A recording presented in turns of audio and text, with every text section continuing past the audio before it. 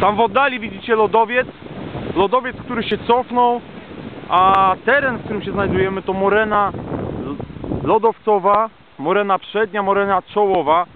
Co to jest morena? Morena to jest ten cały materiał, który tu widzicie niesiony przez lodowiec. To będą małe kamienie, duże głazy. Ona będzie miała różny kształt. Tu jest bardziej gładka, ale tam dalej to co widzicie na horyzoncie pagórki to jest również część moreny.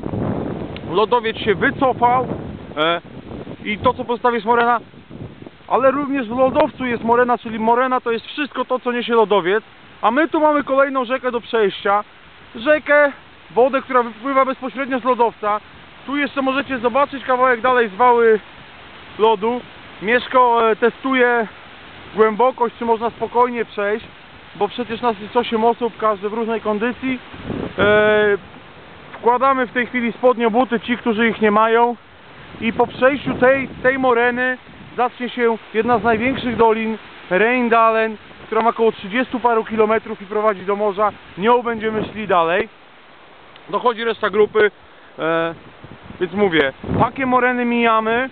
Chodzenie po tych morenach, szczególnie w gumiakach, bo na nogach mamy, proszę bardzo, zwykłe kalosze.